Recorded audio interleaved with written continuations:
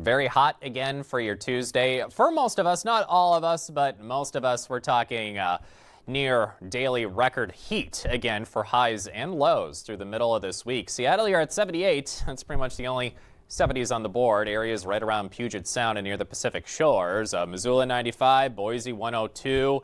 Cheyenne 96, all those fairly near daily record highs for the day, and some widespread wildfire smoke may have hits to air quality. To say temperatures for highs are above average would be an understatement. We have a lot of heat related things to worry about. Also, red flag warnings are widespread for areas of Washington state, Oregon, Idaho, areas of northern Wyoming, much of Montana. Do not underestimate that at least elevated wildfire potential. And heat advisories, cities like Boise, Billings, Great Falls, and other surrounding areas, Sheridan, Wyoming, southern spots of Oregon. We have a ridge of high pressure in the upper levels of the atmosphere that will easily promote heat.